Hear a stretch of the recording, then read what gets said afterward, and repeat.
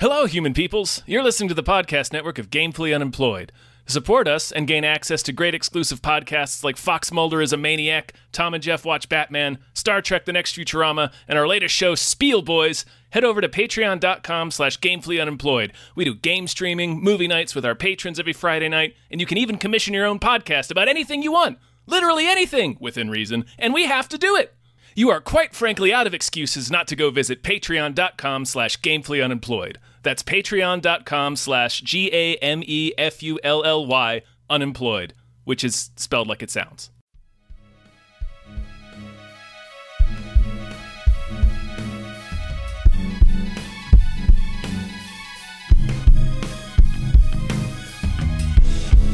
Halbkast. Mit Tom Reimann und David Bell.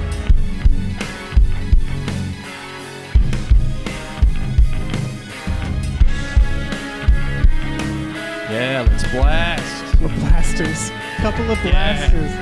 Just a Ah. couple of blasting guys. Oh yeah, that's Yeah. hi everybody. Hello. Welcome to a brand new episode of Hype Cast, the show where we get hyped Sorry. about stuff and things. Never be sorry for being hyped. I'm one of the co-hosts, David Bell. Who are you? What's your deal? I'm guest co-host Erik Barnes. Erik Barnes. Oh, Erik That's Barnes. name. Welcome. that's my name. How's it going? Uh, it goes, man. It Yeah. goes. It definitely goes. Uh, Mhm. Whether we I- like it or not, it just does. Yeah. No, yeah, we have no choice in the Mhm. matter. Um yeah, are you generally hyped? Are you hyped for this is a this is a spooky episode because this comes out on Friday the 13th. So we got to be real spooky. Oh, spooky! Yeah, and we got a lot of spooky trailers to It discuss is- too. Yes, horror season is upon us. Upon us. This is almost I think it's all horror. Oops, all horror. it Uh, kind of almost is, yeah. Yeah, or at least vaguely horror. Um horrifying, one would say. Weird. Horror or uh, horror or spooky adjacent. Yeah, it's a lot Yeah. of my my jams. But before we get started, Erik, what do you got going on? What what what uh what's what's new in Ericsburg? What is new in Ericsburg? Well, what I got going on is I have been for the past one or two years been helping out uh, David Igo, who's been a uh, who is and has been a creative director over at Sideshow Collectibles and Tweeterhead, develop a brand new toy IP uh, called Monstors, and Ah. its Kickstarter has launched this week, and I've been helping David uh, with his creation. And um, uh, like it's his baby, but I'm I'm one of the midwives that has helped write copy, helped him with some ideas for characters and for stories and with lore and all that type of stuff. And the Kickstarter is for um, our first wave of action figures. It's a big homage to Street Sharks and Motu, Masters of the Universe, and Teenage Mutant Ninja Turtles, all the stuff. It's uh and quite frankly, it's it's so much fun and I would love to be able to help his vision and his creation of amazing toys and we'll see where it goes from there. Uh, more toys, maybe expand to different uh, forms of entertainment through this IP and so on and so forth. But it's very fun, and um, yeah, but the it, only way it get, yeah, uh, it looks ahead, awesome. No, no, looking at the Kickstarter, Thanks, it's great. I want I want people to be able to find it because it's it, it's tough to search for. So how does how do people find it? Sure. Uh, Kickstarter.com. Uh, there's a lot of slashes, but the best way to do it is to search Monstors, M O N S T O R S. And that way you'll be able to see the figures of Shamumu and Sting Cobra, two of the main Monstor characters. You can take off their limbs and make up your own Monstor as well.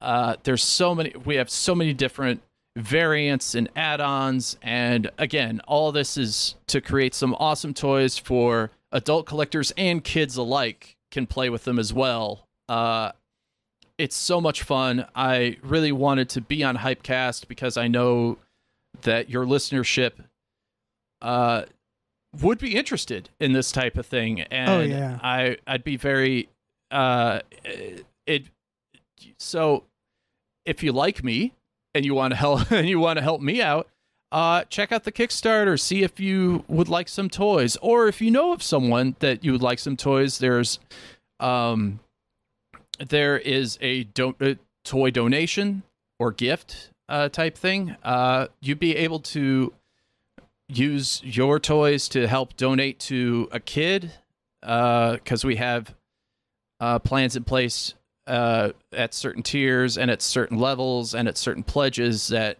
you know we donate to Toys for Tots, for example. There's a That's whole cool. bunch of stuff. I uh, but yeah, go to Kickstarter.com, search for Monstors.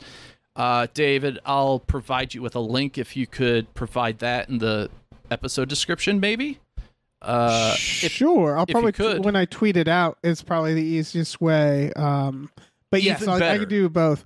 Um, even better. Uh, yeah, that that definitely would uh help us out. And again, thanks for have uh, thanks in advance for having me. Uh, always love to be on the Hypecast. Always love to be with the GU folks. And of uh, yeah, let's um, thank you all in advance for uh just supporting fun stuff being made. You know, and it, it really does look fun. It, yeah, it very much reminds me of like Teenage Mutant Ninja Turtles.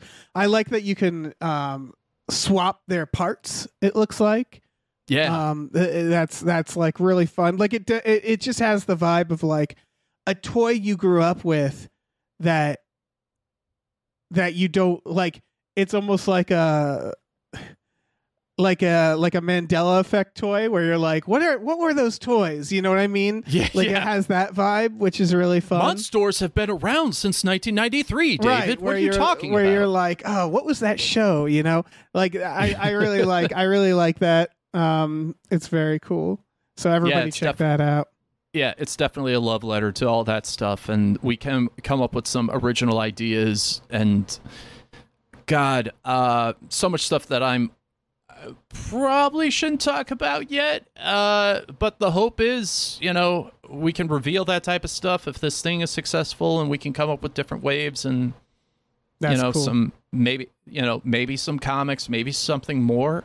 Uh, who's to know? Who who's to know? yeah, we're going just by uh by the seat of our pants at this point and but uh, yeah, but you got again. plans. Yeah. It's good to have Yeah. plans for the oh future. yeah we got we got plans and you know who and you know everything's malleable it all depends on the success of this so uh thank you f- thank you for your consideration and for your pledges Yeah. uh should you decide to do so but appreciate it this is way too long of a plug ah, it's fine. We're just we're jazzing. We're hyping. Um, jazzing Well, we should talk about trailers, but first I I got I got some important folks to thank our beautiful patron producers. Uh starting with at nerd numbers. Thank you so much. Thank you to Zero Charisma. thank you Uh, thank you to 2001 a Space Nulty a Space McNulty Odyssey. Thank you. my favorite my favorite odyssey yeah. Thank you to a turd curdling jump scare. Ugh. Thank you to Aaron Burser. Yeah. Thank you to AJ. Thank you, AJ. Thank you to Andrew. Eric deserves more hype, McGuire. Ooh, yeah. Thanks. Thank, Thank, you to Andrew. Andrew. How deserve demands a single act of kindness. We're working on it. We're working on it. I mean, uh, more than one single act, I would say, Mhm. is is required. All right, let me jump in here. Thank you to Asking Seven. Thank you. Thank you to Ballet Karate Hulk. Thank you. Thank you to BLT 22 E EWHVSB B exclamation point. Woo. Thank you to Boodler Boodleson. Thank you. Thank you to Brian, who Tom knows. Thank you. Thank you to Brockway loves the meat millie. Oh yeah. Thank you to Burrito says water, gym, sunscreen, kung fu, ska, self care. Woo! And thank you to Chester's Prophet. Thank you. I did a little uh spooky cleaning for the producer nods. So just a heads up, uh if if your name accidentally got dropped off, let me know. Just did a little spring cleaning and I'm always very self-conscious about that in case I accidentally dropped someone who should be on there. So give me so at the end of this, wait wait till the end and then let me know. That's all. Um but now it's time for trailers, starting with uh, a Bigums, a fairly Bigums. Uh, it it was It's anticipated. Yeah, I I Yeah. mean it's it's Wolfman. Two words: Wolf space man. This is Not- um Not Wolfman with a hyphen. Not Nope. Wolfman merged Nope. together. Just Wolf. not the Man. Wolfman. Yeah, because they have to sort of figure out. You know, if you keep making Wolfmans, you gotta figure out how to make them different. I guess. Um, This Mhm. is um uh Leigh Whannell who uh uh he did The Invisible Man uh uh, along with a bunch of things. Um he's also an actor but he you know he he kind of knocked it out of the park by directing that Invisible Man remake. He also did Upgrade. Um Mm. it's all to say that like the Universal monster stuff, Universal has been really adamant about cashing in on their monsters that they've had forever. And they tried the dark universe uh with what? The the mummy Yeah. with Tom Cruise. They, They realized tried that to. was mar- yeah. They tried to marvel it up. yeah, and they realized that was stupid. And so like they got a lot of success with the Invisible Man, which was like, oh, what if we just modernized it and made it a straight up horror movie? What you think would be like the first thing you do with a horror property is go like make more horror. Um Yeah. and so it seems like they're they're trying that again with the Wolfman. Um, you know, it makes sense that they get the person who did the Invisible Man. Um, I think there's been people have been kind of weary of this because you, Universal, the Universal Studios, like Halloween Horror Nights, had a Wolfman co- like Yeah. costume, and it looked Yeah. bad. It looked like hairy, unhoused grandpa. Yeah. Kind of, that's kind of what it was. I don't think that reflects this movie personally. Not I- in the I- trailer, no. Yeah, I think there's a lot of pressure on this movie because they're like, man, we nailed it with the Invisible Man. Can we do that?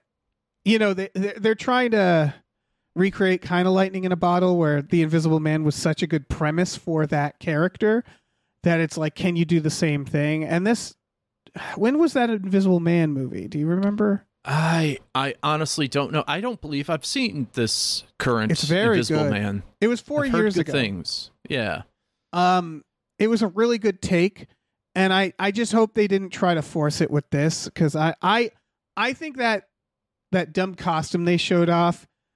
I don't know. Every monster looks dumb when you put them in a haunted house, like a yeah, maze. because Yeah. it's not because it's not made for uh, a film release. You know, Right. the budget is by design low because you're not dressing up a yeah a highly paid actor. You're dressing up schmucks like me. right. Like if. I like if I saw the Babadook in like a, a Halloween outfit style in like a Walmart, I would be like, that's stupid. But like then you see the movie and you're like, oh, I get it. So like that's all to say that I don't think that's reflective of what this is. Of course, because all all those monsters in the movies, you know, there is uh, shot composition, music, mood Yeah. lighting, all that type of stuff to help to help create the boo.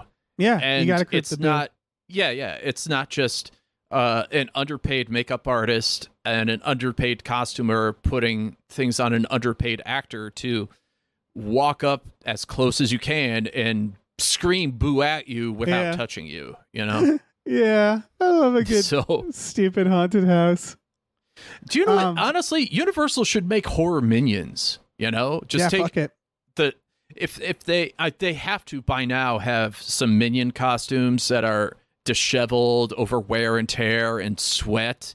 Just don't repair them. Don't throw them away get keep them discolored with human sweat or whatever it is and I just do. Yeah, release them into the horror nights just to just so they show up and go ba da da or that would be Something. amazing.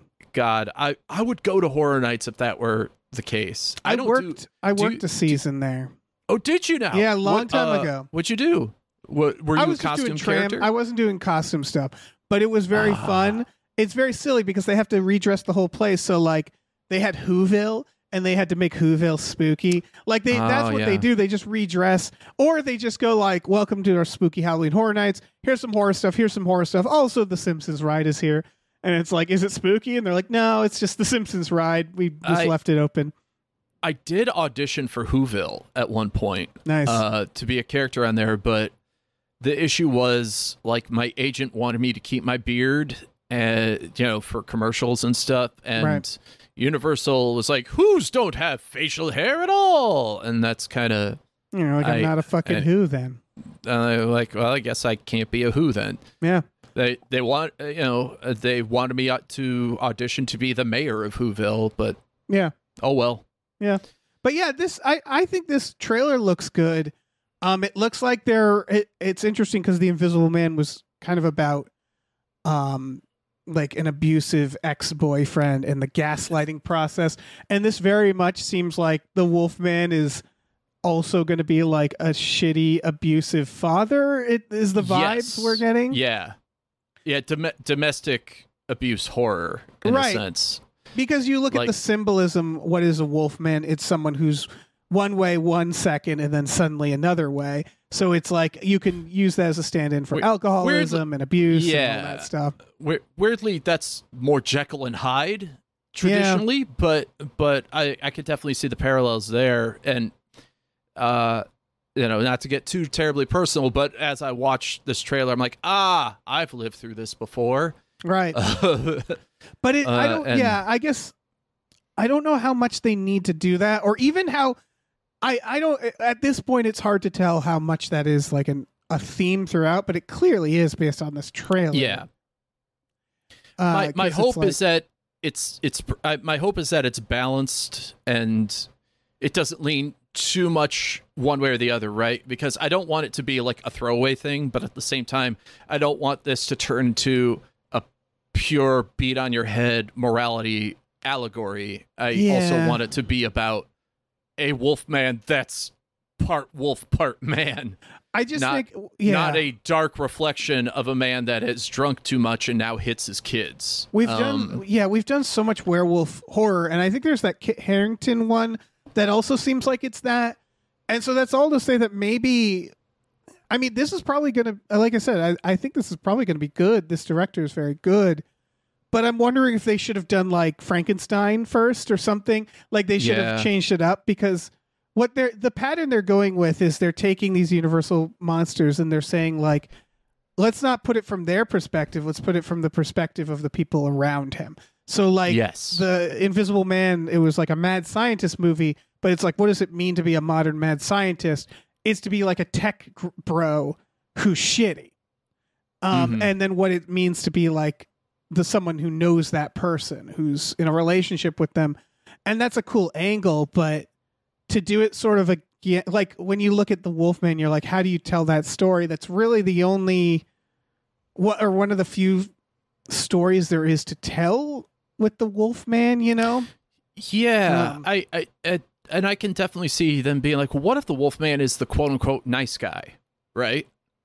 In terms of, uh, or at least as a parallel, is someone that on the surface is kind, friendly, and whatever, but has, uh, you know, when you dig deeper, has, well, a monster uh, Right. inside them, and it's that it's it's hard to tell from the trailer one way or the other, but the trailer does its job in terms of I'm I want to see what where they're going with this. Yeah. So it's tough it's got like the robin hood problem which is that we've made so many robin hoods that it's like why do we need to make another? Um and uh, every yeah. new or robin hood has to Pinocchio or yeah, they all have to kind of justify their existence and they usually fail to do that. So i think for people to want to see this it's gonna have to show something new.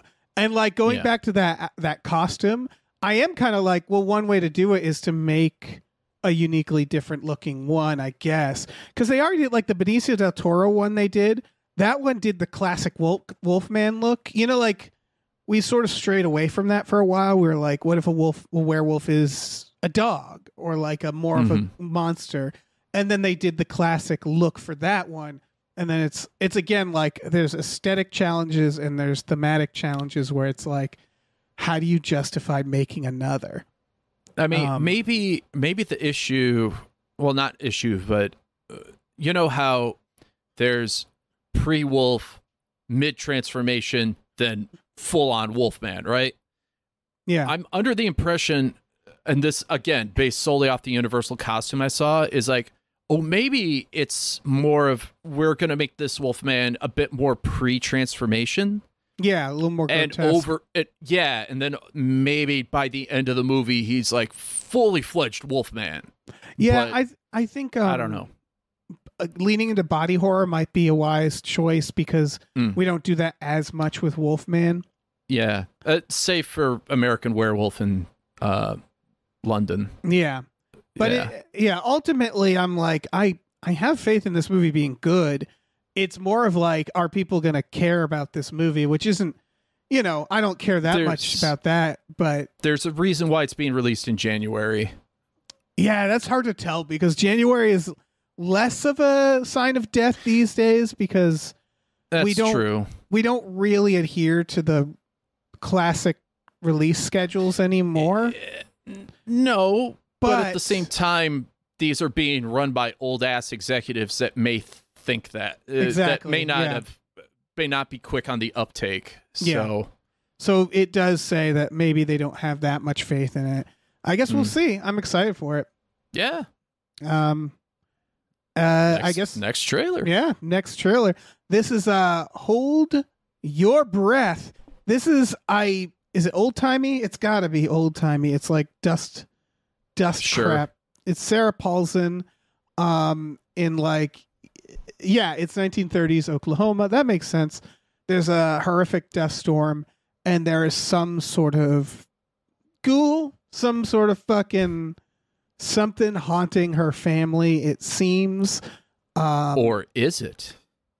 or is it yeah there's there's that vibe of like or maybe uh it's in her head or i don't know um this uh i mean it looks good based on this trailer it it feels like uh you made this note where it, it feels like it has multiple things in play like and i think that's a like sometimes that can be bad but this feels like there's a lot of different Yeah, there's a lot of red herrings. At least the Yeah. trailer is is is showing that off. Which, given that it's a series, I think it's a series, right? no this is a film No, it's an actually okay. Well, Yeah. either way, it'll at least make it a bit more interesting than you know the fact that there could be questions behind uh, whether it's an actual thing or it's just something of legend or it's all in her head or it's just this these other people uh, fucking with her or It- yeah. or what. Yeah you know it's I- I well just- there's I- like a there's like a killer right? They say there's Yeah. like a killer killing murdering kids in the dust um and then there's the question of is it supernatural? And then there's the very common horror trope of this like uh, woman with her kids who's sort of isolated and sort of under pressure. And so it's like a question of like what yeah what is this thing screwing with her? It seems to be like there seems to be like some possession in there or some idea that she's going to do something bad. Yeah. Um it's Or- coming yeah it's hulu uh, beginning of october. Yeah.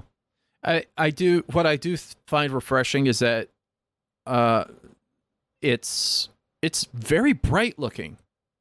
Very very like well lit horror. Uh, uh by well lit I mean literally there's just a ton of light and playing with light and light and darkness yeah and but this time instead of being scared of the dark it's essentially being scared of the sun.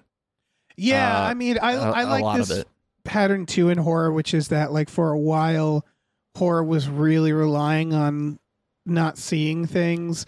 And like there was of course that terrible shit in like the 2000s where every horror movie was like tinted blue or green. It was after the ring and the j horror stuff where they thought like that okay that it automatically makes something look scary.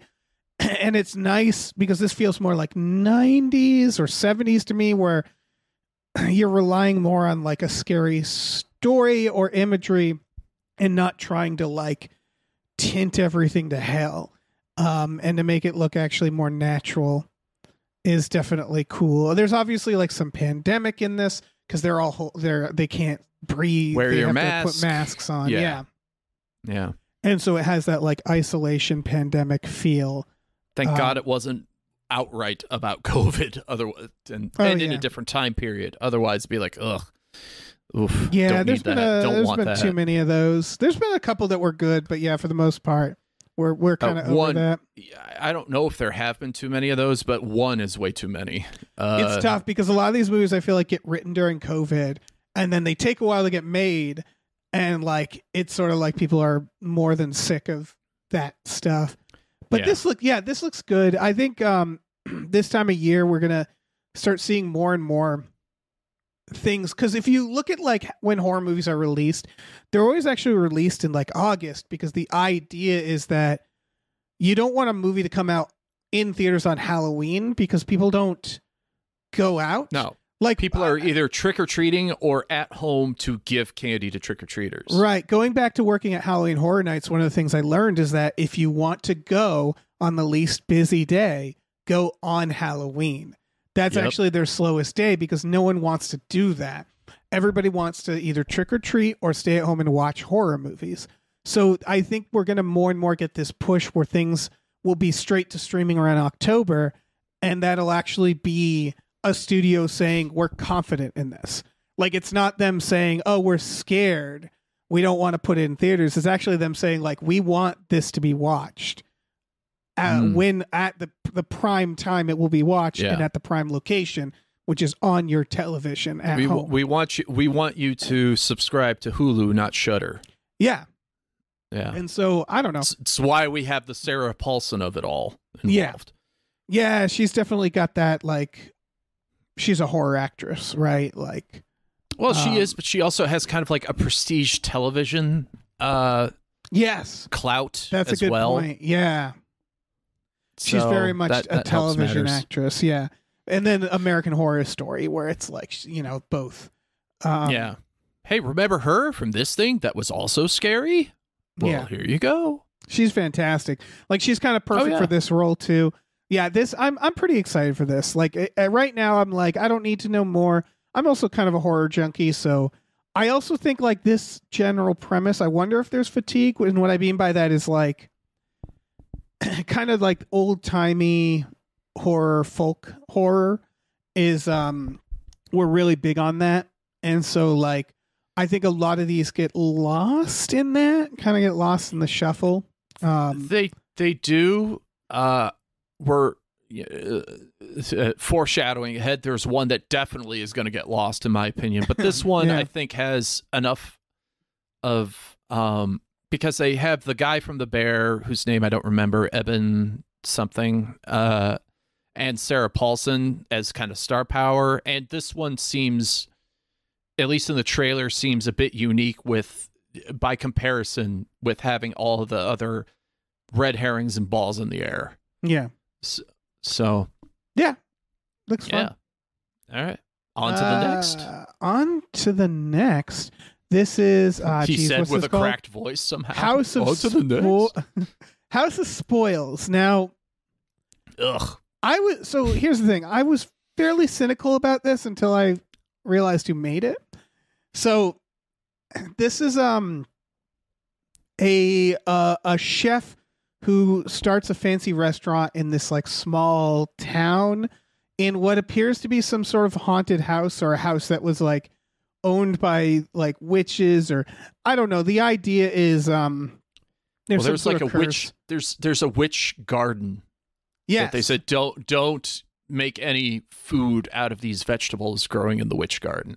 Yes, this is another. This is Amazon. I think this is another. We're going straight to streaming movie, uh, Yeah. horror movie. So it starts very much like, yeah. The the thing that pinged me is I think the thing that pinged you too, which is that we had the movies. We had the movie, the the menu, and then the bear came out, and everybody got kind of obsessed with kitchen work. Mm-hmm. and there's like sort of a they're romanticizing kitchen work. Honestly, the first half of this trailer, I thought, why are they making the bear? We Yeah. already have the bear. And Yeah, then it's like, people- well, wait a minute. But wait a minute, it's secretly a horror movie. and everybody calls her chef. There's this weird, so there's this weird romanticizing where kitchens are like the military or something, like they're really strict and have these ranks, and people use. I've worked in a kitchen. I worked in a kitchen for a decade, and I worked in really fancy places as well as like grimy places. And I can say like it's weird to see that romanticized this way, where I'm like, nah, it's really not that. It's really not Well, they- what you're making it out to be. Well, th- they call it a brigade, you know, and Yeah. then there's chef, sous chef, and then et cetera, et cetera. And I think I, I think we're these are a generation of writers that watched a combination of Hell's Kitchen, which is a manufactured uh visage of what a kitchen quote unquote looks like, Yeah, and on top of that, the the film Ratatouille as well. yeah. Um, And so like um, among among other references that now that that has turned into a thing and again the bear has this thing is definitely riding on i guarantee this was made by, by someone saying wait a minute what if the bear but in a horror film Right. But here's the Yeah. so here's the thing that pinged me is this is directed and written by um Danielle Krudy or Cruddy and Bridget Savage Cole and they made a movie a few years back called Blow the Man Down that is a very good movie. Um it was a really cool idea. It was um about this fishing town where these um these women basically uh, cover up a murder. Um, it was a really it was a really interesting and and fun and cool movie. Uh, and so like that alone made me go like, oh, I kind of trust them. Like I trust them to make a movie that I'm going to find compelling. Um, that said, um, the, like this trailer that also had the bear in it. Um, that movie, Blow the Man Down. But uh that's what makes me go like okay well now i kind of want to see this. Because this trailer alone there's a line where she says you've been watching too many tales from the crypt and i was like what? Is this the 90s like what a weird thing Yeah. to say to someone now. And so maybe this is the 90s like we don't know when this takes place i Um, think it's written by someone that grew up in the 90s well there's a shot of a car where the the car is old. So I'm like, oh, maybe it is the Mm. 90s. Maybe that is a perfectly normal line to say. Um, but yeah, I don't I don't know. This will either this will either pop this will either ride that kitchen stuff and we'll learn like, oh, I guess people still want that or it'll fizzle based on that, I think. But I I I still like again, very much suspect that this is probably very well made uh, just based off what uh, these directors have made in the past. Um, like it's two it's two separate things, right? For me, it's Yeah. like how the movie is made versus like what they chose to kind of glom onto and and market it um I- and make it based off of and like there's I'm- nothing wrong with trying to ride that wave but No, no. Uh, but based on Uh, what they're presenting in this trailer, I'm under the impression that while given the the the previous writer's work, that this is something well written, but not the best executed. i guess it's more to me it like looks very. That's the thing. It looks very samey to Yes. a lot of stuff that I see on Amazon Prime. and the it has question It yeah. has the boys lighting for and, and framing. to- You're right. We me. are starting to get Amazon, Amazon like Netflix, Ne- the Ne- Netflix yeah, movie Netflix look. has their own look, and now Amazon is having its own look too yeah, uh, I, on um, their original content. yeah. I guess my question, my without when I didn't know who made this or anything, my question was like, are we still doing kitchen stuff? Um, and ultimately, I don't know the answer. So I like maybe this will succeed because it's doing that, or maybe people I- are burnt out by that If- if- already. If it does, I think it will succeed in spite of the kitchen stuff, or just because it goes into the bear, but it's actually horror direction. Because season three of the bear of the bear was panned, uh, so it's clear that at least kitchen stuff alone, uh, n- kind of at a downturn, just because that is the standard bearer, right? Uh, yeah. but now I don't know, maybe because it has this horror coat of paint on it, it it it'll it'll have more legs. Yeah, Especially uh, um, especially since this isn't like the bear but a real comedy, you know, or the bear but animated, you know. Yeah. You know what I'm saying? It I- horror I- is just just enough of a of a jerk of a premise, like a like just another jerk of the the steering wheel to intrigue some people, but uh, as as as as a top down premise. But I don't know if this story can deliver on that promise I'm also based not on what I'm seeing. I'm yeah, that's the other thing. I'm not entirely sure I know what this is. So it's it's listed as a horror thriller, and I'm wondering if it's presenting more as a horror than what it actually is, because like all we see in the horror is that she makes this food and then the food has bugs in it. Like that's it. Yeah. That's the only thing they promise Not, in this not just trailer. it has bugs on it, but she herself has bugs coming out of her. Right. And that's sort of it. So I think there's this implication that like by picking this garden she's unleashing some sort of curse or something. But Yeah. it, it that's all to say that I feel like this is kind of hiding a bit of its premise because I'm like surely there's more to it than that. Um and so I'm kind of I don't know. curious it's of what they might be hiding here because it can't just be bugs. I, I I hope it's not just bugs. The the synopsis is that the previous owner of the estate is threatening to sabotage her.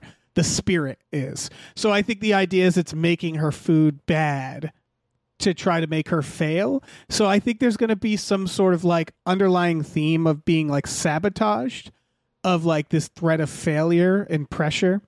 Um, and I, I'm wondering if it'll just go in a, a different direction than they're showing in this. But I don't know. I'm definitely going to check it out. Um, just because I really liked their previous movie, but I mean, we'll see. Godspeed. I Mhm. uh I uh, it it didn't grab me, so uh maybe some other time.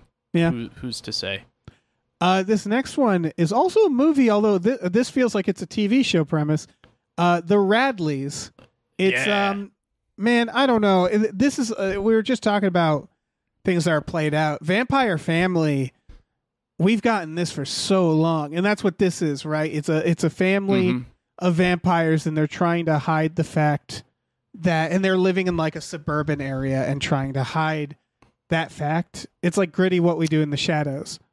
Um, Yeah, but this I, I would say that this is different in the sense that like what we do in the shadows is so over the top with that premise. Yeah. Uh, and like like all the vampires they speak like old timey vampires. They dress like the prototypical vampires and such. Whereas this is more of a weird coming of age slash this is what uh, youngsters figuring out their roots parallel. Yeah, know? it seems to be from, from the perspective of like the daughter being told like you you can't uh you you have to hide this. I also just like the presence of yeah. Damian Lewis um as I And- assume the dad. Yeah, yeah, I love Damian Lewis. Well, he's the dad and also I believe the uncle. I believe they're twins, right? You're right. Yeah, she has like a creepy Yeah. uncle who shows up and Yeah, starts like and it, the- it seems and I- like there's more to it like it's like some weird Well, weird uncle the difference doing is is shit. like I see this I I the thing that seems fresh about this to me or at least it's familiar but fresh enough is that it's taking the vampire family thing but not just the whole we have to hide our thing but having a family member that's like fucking no. Be the god that you're supposed to be. This is your heritage. This is how it should be. Uh, which is kind of like i saw this as kind of a you know, this could be a well overtread premise of the idea of second generation Americans being like uh, being told by the previous genera- generation we have to assimilate while also having a um, while also having relatives that are like, no, be proud of your culture, do your thing, even if that culture is e- eating people. Yeah, there's um, definitely that uncle is case. basically like embrace this Yeah. fact. Yeah, Yeah. I mean, again, it's hard because that's exactly like the Baron and what we do in the shadows. Like I, But- I, I, I Yeah, guess for but- me, uh, but like again, it's, this the what we do in the shadows is is again just over the top comedy, and this is not. This looks like Yeah. it actually has stakes. it also reminds me of Twilight because Twilight my- has some of that too. not not not the stab, kill, and the heart stakes, but maybe those Mm. are in there. But that's not what I'm saying. Uh, uh, but it's I don't hard know. for me to get charged up about vampires. Uh, Oh in no, 2024. Dave. Full disclosure. I don't dislike horror. I find it very difficult for me to give a shit about any horror movie. Sure. just because of all of the by its very nature uh there's an abundance of it which isn't bad but because there's abundance of it everything's I, i'm tired of everything Yeah. so i tr- so whenever i see something that has like a little bit of meat on it that's when i'm like okay fine i'll give you a chance i'll give you a shot This is also listed as comedy for the record. oh is it now Yes.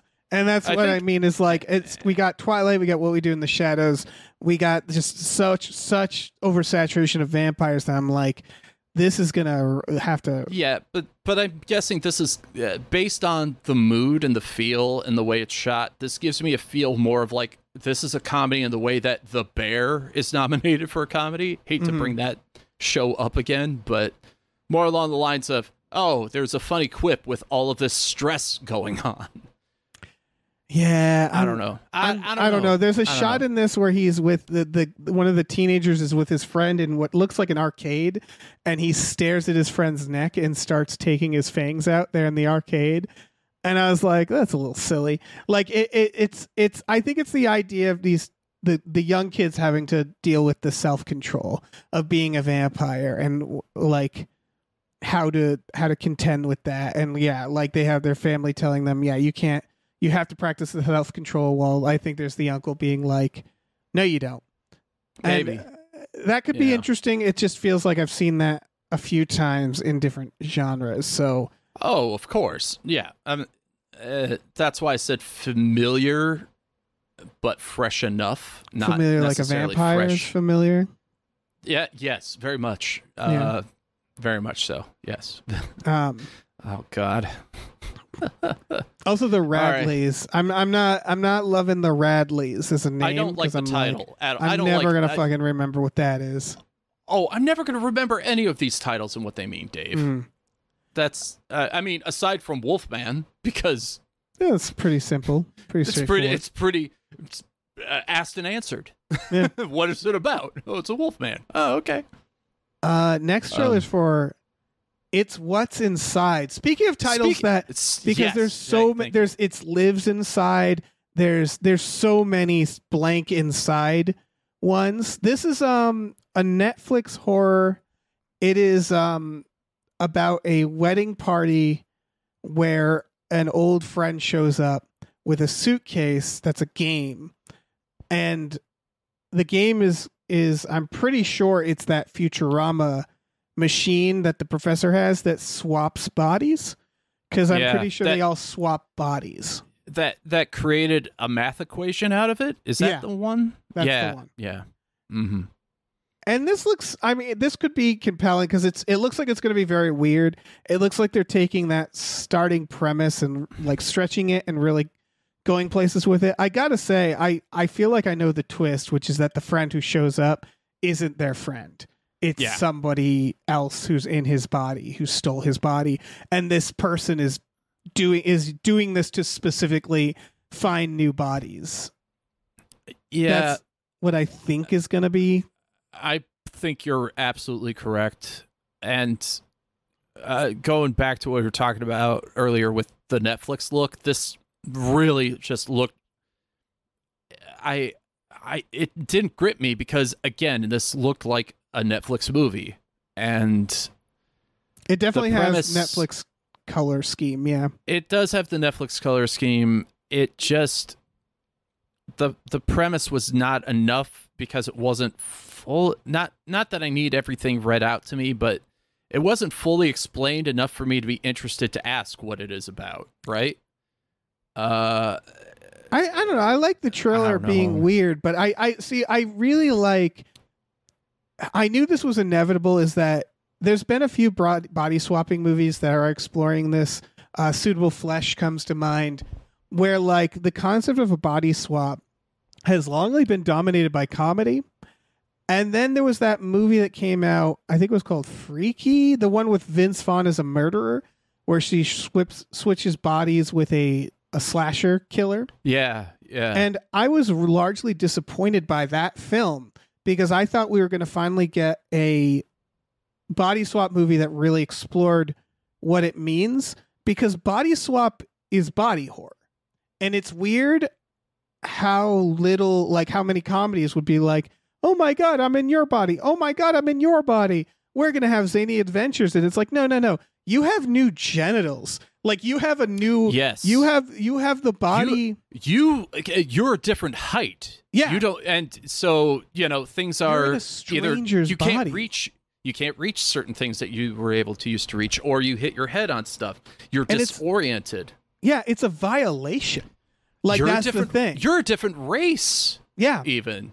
And so like the the violation side of it has never really been explored and I think maybe that's what this might do or at least what it seems to promise to do is to It, show it like kind of how it did fucked not up. it did not provide any evidence of that in, Well, in the it's- trailer. it's presented more of existentially as a as a problem where the people are freaking out everybody seems way more upset or like fascinated or like mind fucked by it so I i i, get the vibe it- that like It- it's- it's, you know the things that you're exploring you're uh, you're talking about to your point the trailer is just showing me of like we're a group of young 20 somethings and now we're in the bodies of a different group of young 20 somethings like uh, there i don't see the purpose right I feel like the- there's it's gonna be there's gonna be some sex stuff. I feel like there it's implied i'm like sure there's I gonna be some fucking um lose me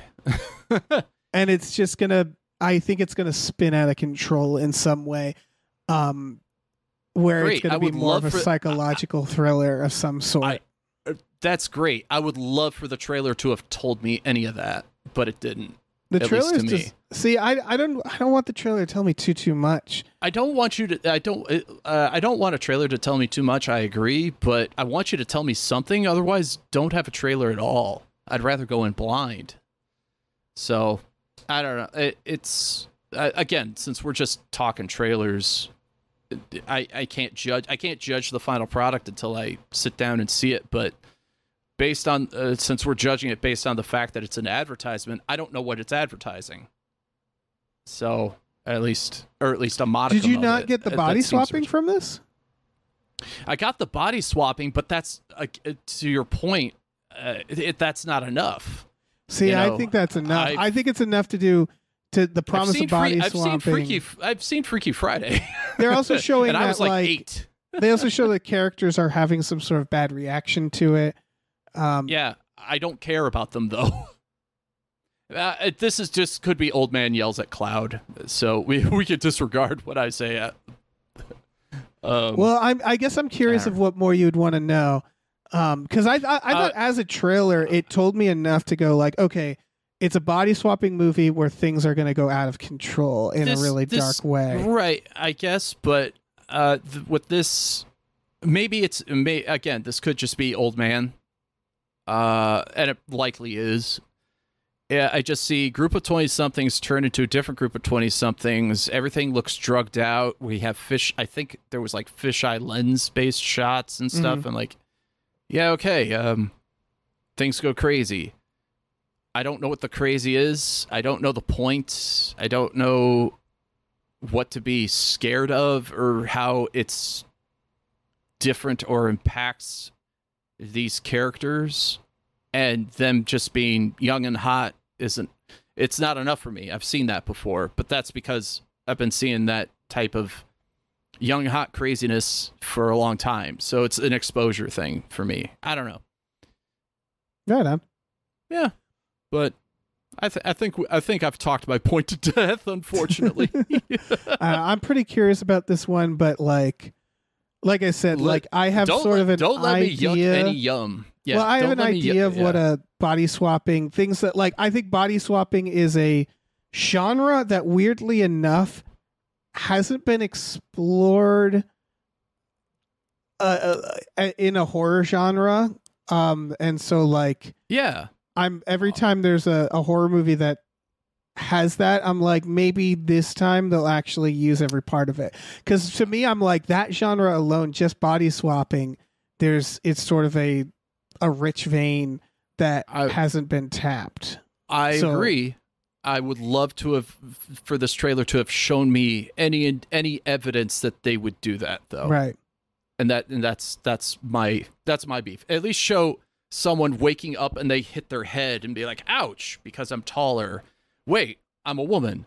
Wait, I'm a I, I'm a different race. I'm a, I like show show the transition from like a cis white dude to a non one or vice versa. Uh, but that's that's wasn't clearly indicated in that. Like any, I don't know. Um, We can we can move on. I don't have to justify one, my nonsense. This next one is, I suspect. All right, this next one's called Caddo Lake. Um, it is a movie. I thought it was a series because it has the vibes of a series. Um, it is, I believe, I'm thinking it's produced by M Night Shyamalan. It has, I believe, his uh, his logo, and it's the people behind Servant, which was a Shyamalan. Yeah, it is produced by Shyamalan. I just looked it up. Um, it is very vibes right now. It's just so Yeah. it's it's a lake and there's clearly a disappearance and then some sort of mystery. The fact that it's a movie actually intrigues me more because I thought like, okay, is this going to be a Lost? Is this going to be a movie or a show that drags on for 10 seasons about a mystery? But the fact that it's a movie, it's got if you've ever seen Dark, um that show, it's got the vibes of that, which is like missing kids and then some sort of possibly supernatural or just uh, like true crime um like history in the area um Mm-hmm. coming back it's all vibes this trailer though Yeah, it's all vibes. It tells you really nothing. It's a Uh, dude in a swamp it's like a bayou and it's Yeah, like uh, re- remember earlier when we were talking about historical or location based horror, like rural horror, folksy horror, Right. getting lost in the shuffle. This is what I was talking about because this, because this, uh, it feels Yeah. because uh, yeah, the vibes are there and it's not poorly executed vibes, but I need I, at this point. Because there's so much of it, especially this time of year, it's going to get lost. At least it's lost for me. You're This is to give me on- more. yeah this is going on max this is another one of the ones where like all right horror straight to streaming for halloween um Mhm. it, it feels more like a, a gritty mystery thriller but it's definitely also horror Yeah, and drama. I, I'm uh, for me, I'm just like the fact that it's a movie and not a show. That to me upgraded it in my mind, where I'm like, what I feel like would happen if this was a show. I feel like it'd get lost in the shuffle even more. And what I mean Yeah. is, it's one of those shows that like you'd watch a season of. And then you'd forget about, and then you'd hear that it was canceled, yeah, and you'd the go fr- like, well, "Oh, okay, I or- guess I'll never or- solve that mystery." Oh, yeah, or it's a five, or it's a limited series that is five episodes too long. Yeah. And so the fact that it's like a mystery movie that that does um give me a lot more hope because then you know whatever mystery is presented in it will be solved by the end. Uh at least it should be. So I, I don't know. I I never saw Servant or whatever these people worked on, so I haven't I've heard both good and bad things about that show. Um so I I know nothing based on who made this, but like this is Yeah. definitely like catnip for me, which is like true crime horror is very much like I'll always give this a shot, I guess. I, I, again, listen, it may not be for me, but I'm glad. It, God forbid someone enjoys something, right? Mhm. I'm all about I'm all about that mindset. So hope, hopefully uh hopefully this works for you and that you're rewarded. I mean, it doesn't even have to be very good. That's the thing. That that's again going back to like TV show versus um, movie, is that I get so angry if a mediocre true crime TV show like drags on for too long. Yes. Whereas a yeah. movie, I'm like, all right, shitty mystery under two hours. Okay, Yeah. you know, like yeah. oh, that's of course. I'll yeah, gobble that up. th- The yeah, the time investment. That's Yeah. that's huge. Huge, So- huge, huge. this all this has to be is like baseline entertaining for me um and I, i'm into it but like yeah i i'm it's it's weird because this is also like a lot of these trailers they're they're planning it for halloween but i wouldn't call many of these spooky if that makes sense I um yeah, I can get that. I mean, this one, to your point, is more of. Uh, it feels more like a murder mystery. right like these don't feel like things you'd throw on on halloween um Yeah. to like feel spooky um which It it kind of has a true detective-ish sense to it, in which it's like, okay, there could be some supernatural elements to it, but it feels like a hard uh, mystery thriller, but with spookiness thrown in. Yeah, which is don't a good instinct for HBO. This Because- is all, yeah. I mean, I mean, uh, this is all speculation on my part because, again, to as we mentioned, the trailer is vibes. So Yes, it's just who's to say? In a swamp from producer M Night Shyamalan, missing people, everybody looking very serious and concerned. Um, which again, I'm like, yeah, I'm in. Like, I'm into that bullshit. Um, so like they they know who they're grabbing with this, I guess. I guess I've There's, seen like, the news animals. and documentaries, so I'm There's like a I'm- ma- I'm- there's a I- maze and- runner in there. That guy's a Yeah. maze runner. yeah. The main I'll probably watch the Radleys over this, Hmm. but that's me. Um, Uh, what is next? Hold on. Oh, I know what's next. Um, oh, Uzumaki. Yeah. This, I don't know what the fuck this is. This is out of a, Adult Swim. It's clearly Oh, based know. on some sort of um, comic book of some sort. Yeah, Yes, I mean, tell me what this is then. So Junji Ito is a celebrated uh, manga artist and writer. Uh, uh, mangaka, I believe, is the term. And he specializes in horror manga. Uh, and this is probably, arguably, his most popular work. Uh, you can't tell by the by the an- this this trailer is solely for people who have read it and are like, "Ooh, I get to see an animated version of this cool thing I read." Right? Uh, Uh, yeah, I mean, yes and no because this definitely grabbed my attention. it grabbed. um, oh, it definitely grabbed your attention, but in terms of like knowing what it is, um, Oh yeah, like I don't feel like I need to know what it is. I looked it Yeah, up. The yeah. synopsis is a town slowly goes insane over obsessions with spiral shapes. It's yes, it, it's a series of short stories that are oriented around spirals and this town. Uh, your mileage will vary. Uh, some of it is amazing. The uh, it looks great. It looks very true to the original artwork. Uh, it I it has a lot of high potential. My concern is a lot of Junji Ito's horror, and this is kind of spelled out there's this uh, YouTube video essay essayist called Super Eyepatch Wolf that breaks down another animated adaptation of his work. Mhm.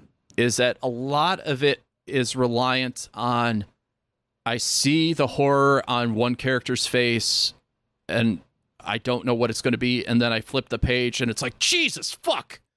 Um and uh the and there's a lot of build toward uh and then all of a sudden hor- horrifying image and it's horrifying as a still i don't know how maybe it could be more horrifying when it's animated maybe it, I mean, the maybe stuff it will be this, less My it- my it ha- my thoughts yeah. looking at these images. Like, I mean, I've seen so much horror, so it's also hard to tell what freaks people out. For me, my reaction for a lot of this was just as someone who also writes it looks badass I'll yeah, who's someone who who likes to write weird things in horror. it's one of those moments where like the writer in me goes like, "Damn, I wish I thought of that." Because there's these these moments where you're just like, "Oh, I haven't seen that before.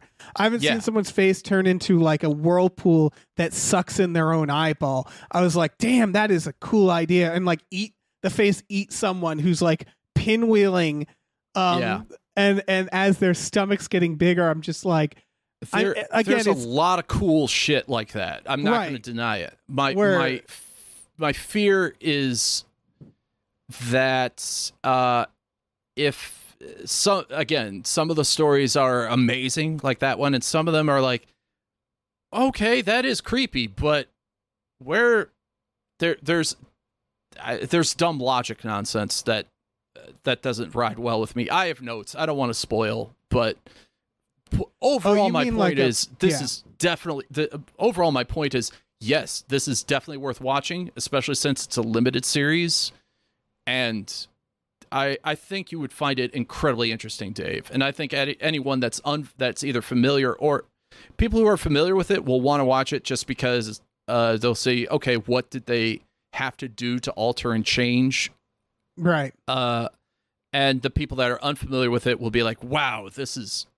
these are fucked up ideas," and plays with fears that aren't necessarily touched upon too often. Yes, this is the thing Uh, I'm yeah. the second most excited for, and we haven't gotten for the one I'm most excited for. Oh yeah, And because what ultimately this trailer, what it did for me is it presented like six things that I'd never seen before. Yep. And like I and like that alone, I'm like, well shit.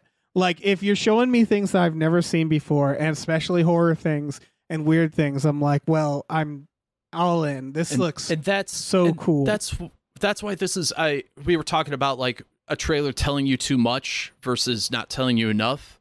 I think bec- the this trailer, uh, bec- the visuals alone tell you enough, right? Like yeah. Uh, I mean, you, I, I, if I didn't know anything, I wouldn't give a fuck about the plot because at least the visuals were something I haven't seen. What if people have noticed? There's a theme that's been on all the trailers for better or for worse before this moment, which is that Mhm. I think every trailer we've talked about has been a, a variation of something we've simply seen before. Um, it, it, it- be it a literal Wolfman remake or folk horror or vampires or kitchen Yeah. stuff or or like the the party game. Like what's inside is also very um, uh, what's that fucking hand movie that was very good. Um, uh, I, you, everybody's screaming the name. Caddo Lake is very like true crime. This is like, again, I know it's based off of something that already exists, but For for, sure. me, I was But like, very- this is completely new. yeah. Oh, because it's because it is a niche at uh, still. And I love it. Um, Yeah, whenever anything horror makes me scared of something that I've simply never thought to be scared of before, such as in this case, like spirals. And I'm Oh, just yeah. like, oh god, these are some creepy fucking spirals you got going on here. Yeah, you're. Yeah, I, I think you're in for a treat with that one. Yeah. Most definitely. Oh, Uh, yeah. uh, my my critiques aside, I think you're going to be in for a treat. Speaking of in for a treat, um, Mm-hmm. the final trailer this would have been on more hype except this is this is getting plenty of views um this is the trailer for rumors spelled the british way uh starring um or rather featuring Cate Blanchett and charles dance amongst others um, Charles Dance. the you'd never know the premise. I looked up Yeah, the sorry. premise because this is a 40 second trailer. The premise is the leaders of seven large uh, like uh, countries get lost in the woods while trying to draft a statement about some sort of global danger. Um, okay. and that's the basic premise. So that I don't that's need why to like when you look at the anymore. cast, yeah, the cast Yeah. is like a very diverse cast, and I think it's because they're representing diverse countries. Um, and uh, the big the big thing about this, and Erik, I don't know if you've seen these films. This is from the writers and directors of The Forbidden Room and My Winnipeg, amongst others. So that's Evan Johnson, Guy Maddin. Um, did you see Hundreds of Beavers that had a hit? Yes. I So love hundreds of beavers. That's not theirs, but it's highly, highly inspired by their work, I would say. I'm so goddamn excited right now thanks Yes. to this revelation. So the and now, forbidden now I have now I have to watch these two movies too. Yes, the they're, they're, they're well. Both of these movies they're a little slower than you imagine. They That's are fine. so. My Winnipeg, which was the first movie of the two that I've seen, um, is a documentary about Winnipeg. Um, that's like this black and white documentary, kind of about fables around Winnipeg, and it the idea was like I think he was actually commissioned to make something about Winnipeg, a very boring city, and he like turns it into kind of a farce around nostalgia and like really like it's all like him telling these stories in these very funny ways um and like mythologizing very stupid silly nostalgia he has the This forbidden makes me so happy. yeah, the Forbidden Room is a series of vignettes that is very artsy, very like it, it. It's when you if you saw the trailer and stuff, you'd think it was like an art house film, but then when you watch it, it feels more like uh, Kids in the Hall or I Think You Should Leave. Like it's Oh, more of like it's more of like abstract absurdist comedy. Um, and so like that's all to say that he's making some of the weirdest fucking movies that are just so in line with me and what I'm I so f- love. I'm so fucking in. And this Thank you. trailer, yeah, Are these available on streaming? The Yeah. Forbidden Room and My Yeah. Winnipeg. Okay, I'm this have to look them up. trailer. Another person is like the guy who did uh, Rubber has the kind of that weird humor. This trailer yeah. looks so Love it- Rubber. yeah this trailer it's got like a little bit of like like i think if you watched it you'd be you'd accidentally think it's maybe a little twee but i don't think it's gonna be and it just starts It- with them in a it- gazebo and then it, it- just it- does a series of flashing of moments Yeah. including a giant brain in the woods just plopped in the does- woods the the brain in the woods aside, if you looked at the flash and the symmetry and the use of bright brightness and pastels, I again it looks like a Wes it looks like a Wes Anderson. Yes, it has. Uh, there's one yeah. particular shot where you're like, that feels like a Wes Anderson shot, but I don't. I well, with he doesn't. crazy cast as well too. Yes. kind of the yellow text, but I don't Yep. think it's going to be like that. And like this fucking trailer, because the the it's basically a gazebo and then a series of shots, and the series of shots like cut off the um the dialogue within those shots.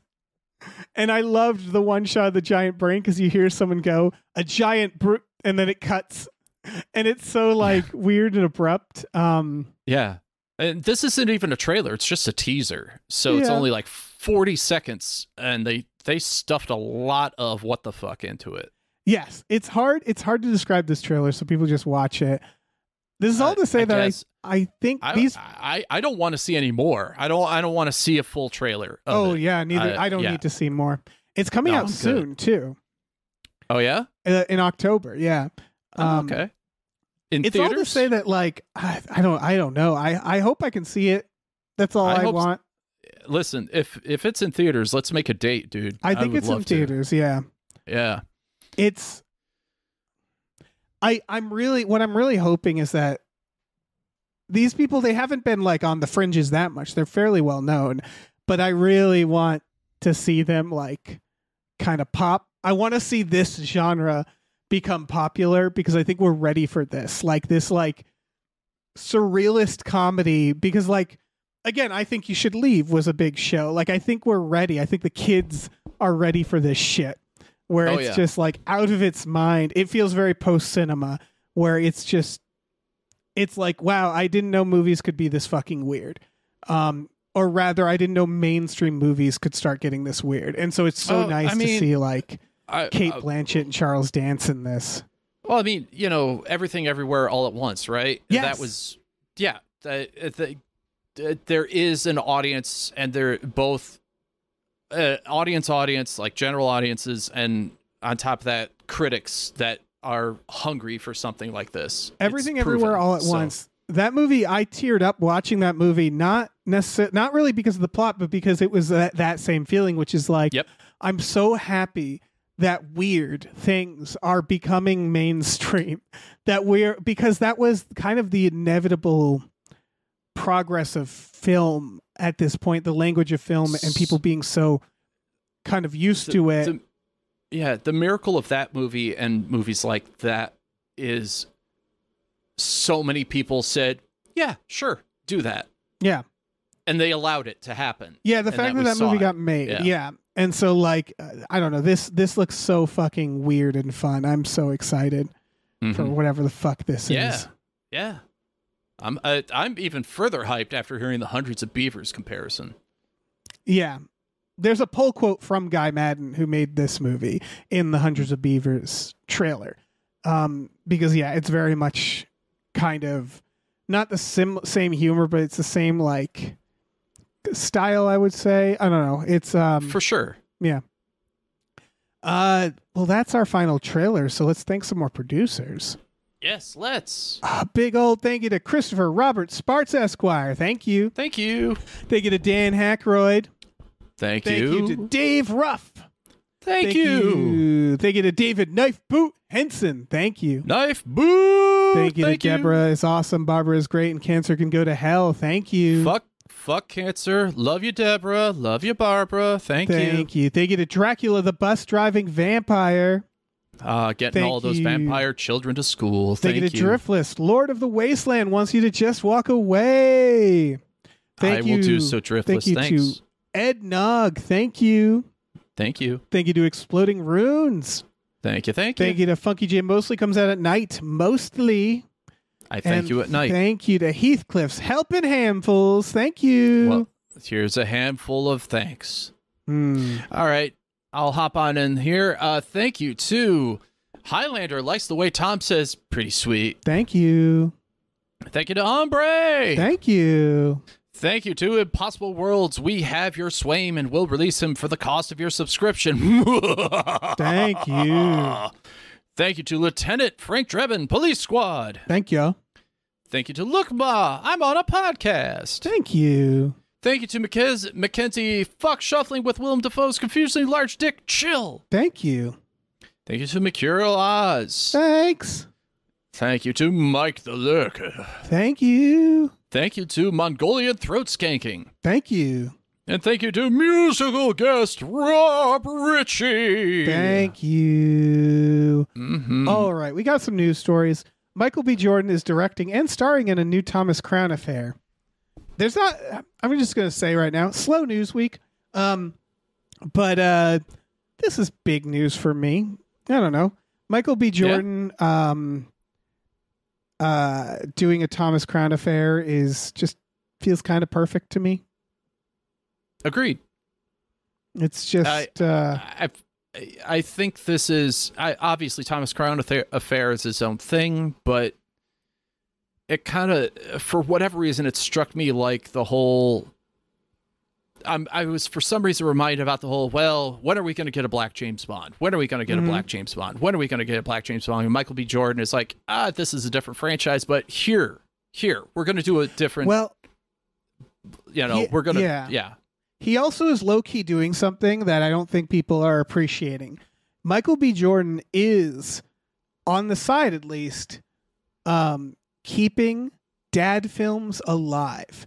So there's Creed, obviously, but what we don't think about is Without Re- Remorse, which is a Tom Clancy movie that he did about the character John Kelly, who's in a lot of the Jack Ryan stuff.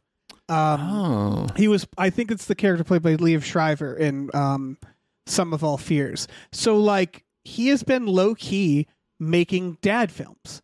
Um and i really really appreciate that that he's like we need dad films um and so the thomas crown affair is naturally a dad film uh and so like that's why i'm like oh this is fucking perfect what Mhm. a perfect way to use your power for good to make some some more dad film stuff Agreed. And put his own his own spin onto it.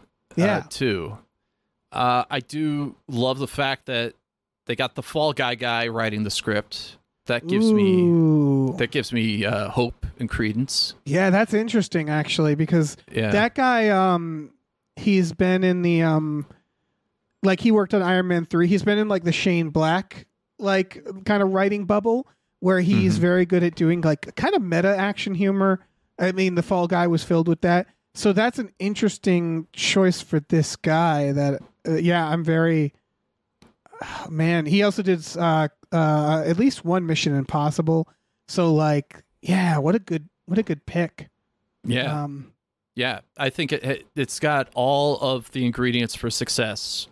The hope is just let Michael B. Jordan, uh, you know, and, and get out of his way, and I think we'll see something fun.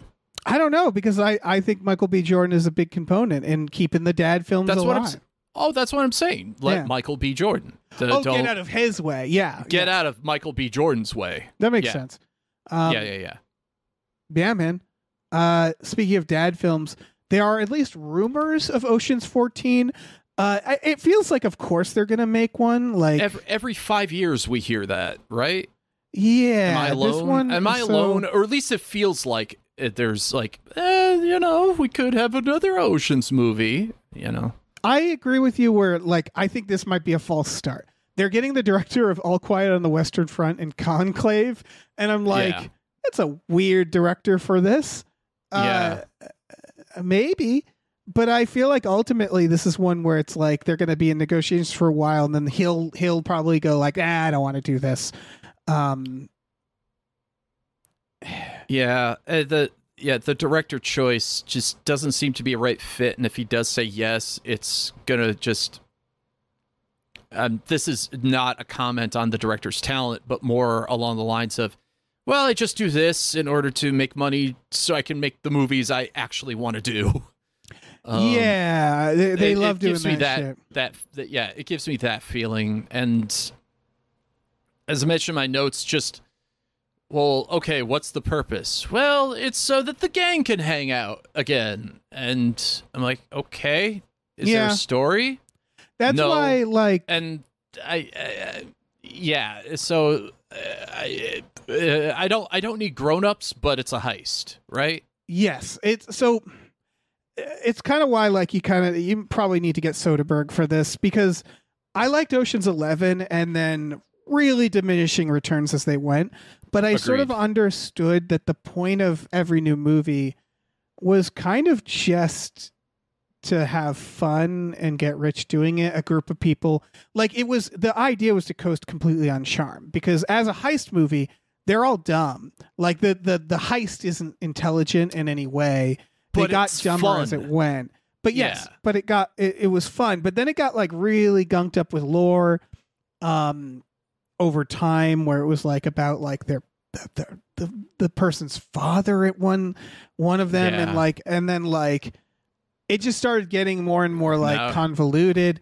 Um yeah, and uh, and uh, Andy and Andy Garcia is like, "Hey guys, can I play with you too?" And they Yeah. went, "Sure, yeah, bring him back." Yeah, and so it, it, it got it just got dumber and dumber, but still like plenty fun. And are they all alive? Is uh I I Bernie I, Mac is not. Um, Bernie Mac is not is um Carl Reiner alive? He feels dead. No, I don't think so. Yeah, I he's think super he passed on. Yeah. So yeah, I'm like I don't know, just I think will we just Mel let it will be Mel Brooks step in and right. in the Carl. Reiner role? Yeah. but it's sort of like I don't know, like that you're gonna have to add because if you want it to be Ocean's 14, you have to add have to have 14 fucking people. And so it's like, are they gonna uh, keep adding people? Are we at Ocean's 20? Is it yeah. like the more cast, the more clutter? Well, they're going to add uh, this thing. The budget will be fucking obscene just to get the actors, uh, the Yes. actors involved. Uh, uh, back when Ocean's Eleven started, right? Okay, who are the main actors? Julia, uh, Julia Roberts, Andy Garcia, Brad Pitt, and uh, There's 11 of them. I mean, there was 11 of them, but half of those 11 weren't as big a names as they are now. Like Yeah. Don Cheadle has shit to do now. Uh, you know, James Caan might not, but Don Cheadle does. Matt Damon definitely does. Uh, and you know, and so on. Fuck, even Casey Affleck, who I don't like, has stuff to do. Yeah. So it's going to be hard to pin down 14, uh, all those previous stars plus whoever they add on. And whoever they add on has to have some name value to. And they're probably going to be like approaching Zendaya or someone that's younger. Uh, Kevin Hart, maybe, if they're aiming for think- slightly older. Yeah. it's it's just it it'll be too bloated Uh, I think, and I it was already the, bloated um, to begin with, but manageable bloated. I, Yeah. I guess. I think the better it so like the, the best thing to do is nothing at all. But if Yes. they if they wanted to do something, I feel like they're not confident enough in Ocean's 8, which was a fine movie. It was fun. Um with Sandra Bullock and Cate Blanchett and Anne Hathaway. I was like that's that was like doing the idea of let's take a bunch of charismatic actors um and put them together and make a big ensemble. Like I uh, that was that i think uh, that satisfied that for me um yeah. it was a fairly was- forgettable film but that's why i'm like I- the best thing to do is nothing but it's like I don't know do oceans and i've continue that it feels like they're not confident in that I- one I- they're not confident in that one. I think what happened, uh, the you know, one, it didn't perform well. Two, I think we were like, okay, enough with the oceans movies. And three, Yeah. I think the the biggest, I think one of the biggest problems with that one is the fact it was called Oceans Eight. And it wasn't something else, but happened to be a lot like the Oceans movies. You know what I mean? well because, she uh, was um i think one of them was related to danny ocean is the idea Um, I, I get, I get yeah. that, but you don't need that, right? yeah i think like it could have been it could have just been a fun heist movie that featured all ladies yes ultimately i, this- don't need yeah. more oceans like i don't need this to be a That's- franchise no no It- no it's sort especially of- especially the actors at their current age Yeah, it's sort of We like already the ha- movies where they were like they tried to do another, and it was like, nah, it, it was it existed in the early two thousands, and that's Well, where it existed. We can leave it there. the the other thing too is is that the primary constant in all those movies is the relationship between Brad Pitt and George Clooney and Yeah. they're already paired together in Wolfs right? which is a spiritual Ocean's 11 and as far as I'm concerned so yeah, I think I, I don't understand. I, honestly, we're probably making more of what is just a rumor that Deadline's like, fuck it, we need clicks. Yeah, but it does feel like one of those things where it's like, of course they're trying to make it, and it, it just feels like a, a case of them not understanding. Like it's going back to like you mentioned Wolfs, where it's like, why did Ocean's Eleven's work? It's because of the charisma between the actors, not because of the Ocean's brand. And so that's what it is. the where lore like- of Ocean's 11. Yeah. Mhm. uh, all right, well that's it for news stories. Let's thank some more producers. yeah, um, let's. Big old thank you to Norm from Cheers. Thank you. Norm, thank, you. to thank you to Numino Ultramicroscopic Silico Volcano Coniosis Anti-Disestablishmentarianism Jones. Thank you. Thank, you. Thank you to pre-order Jason Pargin's new book so he can keep making big feats. Thank you. Thank you. Thank you to Psychic Bigfoot. Ooh, thank maybe he's one of the big to- feats. Yeah. Thank you. Thank you to Rev MD. Thank, Thank you. to Ricky Cilantro. Thank you. Thank you to Rosemary's Baby from Eraserhead. Thank you. Thank you. Thank you to Screaming Horse Pyramid. A screaming thank you to you. Thank you to Steven. Hey, thanks, Steven. Thank you to the conveniently placed self destruct button on the top of every baby's head. Thank you. Thank you. Don't press it. All right.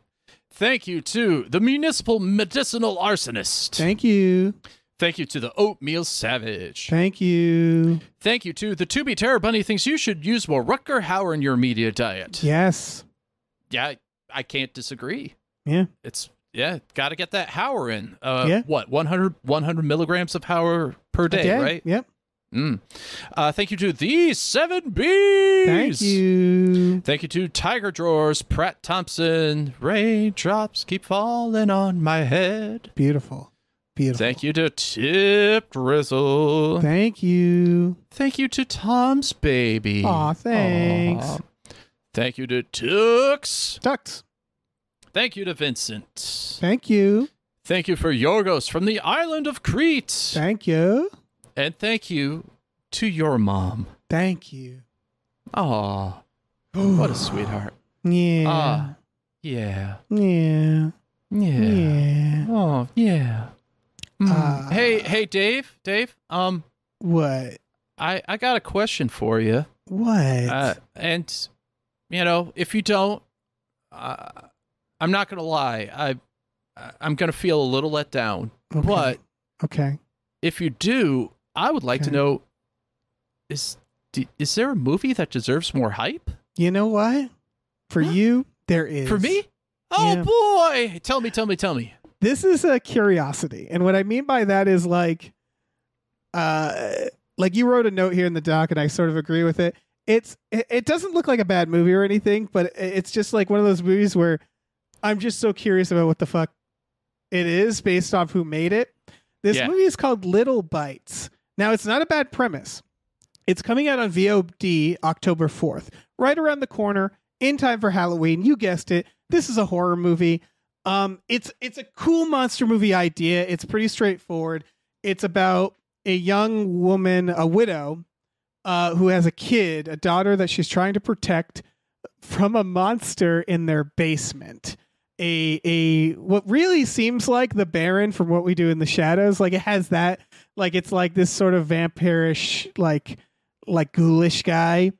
Um, and it wants to eat her daughter. And so what she's been doing is letting it bite her own flesh and drinking her blood a little by little, little bites, if you little will. bits, little Um, bits. And that star- starts spinning off into her like sacrificing people to it. You might recognize this as the plot of Little Shop of Horrors a little bit. Um, Yes. where the plant wants to eat Audrey and and uh, Rick Moranis has to feed it other things. So like that's basically it, but with a fucking vampire. Um, there's no reviews. This is a complete gamble. The reason I glommed onto it, one because it, the, the, a lot of the ca- the cast interviews are like people saying like I had a lot of fun. It's very gory and and and bloody, and so I'm like, okay, this is going to be like a very bloody, fun, weird, gory film. yeah. Um, but the thing that pinged me is that it's directed by a gentleman by the name of Spider One, who is Rob Zombie's brother, otherwise known as the lead singer of Powerman 5000. And That's that, ins- that was that reveal was insane to me. see, okay, see that to me, I was like, okay, like he's directed other things. He's looking at his brother and being like, why not me? The Yeah, thing, sure. The thing on top of this is it's being produced by Cher, Cher and that, Chaz that Bono. huge. Yeah. And I'm like, okay, I guess I have to watch this movie that Cher and Chaz Bono produced. I think Chaz is in it. Yeah. They they saw this script and said, "Uh, "Take money from us." Yeah. It also Yeah. has Barbara Crampton in it, and I'll never say no to Barbara Crampton. Yeah. Um, and so like it seems like a fun little like, you know, grindhousey, gory uh uh horror movie brought to you by Cher, Cher and her Yeah. son. I will say, uh, this is the, these are strictly the views of Erik Barnes. Don't watch the trailer. Don't because I it I every every bit of the press releases like definitely Google and read the stuff that we're reading, but read it. Don't don't watch a trailer of this because the trailer kind of it's there, uh, but it doesn't express the the insanity of these producers, these actors, these whatever. At least Yeah. to me, it didn't. again, it's more about the hype where I'm like, the movie looks fine, but what made it on this list Yeah. is just me getting to say, like, hey, did you know that Cher and Chaz Bono produced a movie sure. directed by the Powerman 5000 guy, and it's coming Yeah. out next month, and you can watch it, and it's like, yeah, I'm gonna have to watch that. You know, Yeah. I'm gonna have to see And what that made it- is. and that's and that's what made it sound fun to me. The trailer just is like, yeah, it's okay, horror trailer, gotcha. Yeah. Uh, at least to me it was. But reading all of this context with it, that's what got me excited because I don't know the mood. The mood felt very different in the trailer compared to what I'm reading. Yeah, Uh, so I'm I'm all about it. I will watch this movie. I will refuse to watch the trailer, and in fact, I will do everything in my power to make sure all of you won't watch it either. That way, you could just enjoy the film. you sneak without- into their houses. That's what you do. You sneak sneak. into their I- house. I am a house sneaker. Mhm. I am a house sneaker for the internet. That's Yep. what I do. Yeah. So, killer. Well, thank you And so while much. you're in their house, you might as well take some stuff too. You know, you can Uh, take what- stuff. what I could take stuff, or I could just log on It's free stuff. I well, I could log on to their laptop or computer or take their phone and go to Kickstarter.com, search for Monstors, and pledge uh, on their behalf, uh, so they themselves could get some awesome action figures, or just donate to support an awesome new IP that we can make some uh, fresh stories, fresh toys, and maybe some other media to consume uh, later that would appeal to your gamefully unemployed audience. Mm, good segue. Good segue. Yeah, yeah. And I, if I break into your house, I'm just gonna take stuff because I, I, you can, like, you can do that, and you can trade You in could for just money. do that. It's Yeah, legal. yeah. It's legal. It, Um, it's legal. Mhm. and go to uh, just patreon.com slash gamefully unemployed if you're curious we watch movies every friday night erik you are often there watching movies with us um, and so that's fun we have exclusive podcasts on there we have a store gamefullyunemployed.com t-shirt store we have a brand new t-shirt which is uh, mulder fighting batman you know the pair up we all needed to see so check Mhm. that out um, and i guess that's it that's a sode we did it we did it! Hooray! we slopped this up. We slopped it into your Yeah. mouths. Good and sloppy. Mm-hmm. Say goodbye. Bye bye, everybody. Bye. Bye. Hey, listen, our music is produced by Chris Corlew. You can find him on twitter.com as the Corlew or go to shipwreckedsailor.bandcamp.com. Our channel artwork is produced by Michael Vincent Bramley. For more of his work, go to mvbramley.art. Our episode artwork is by Justin Brown, available on Twitter as Justin T. Brown or at artistbyjustinbrown.com. And finally, additional artwork is by Starlene Hodge. You can find her work at starlenearts.com or on Twitter as StarleneX. Cool. Goodbye.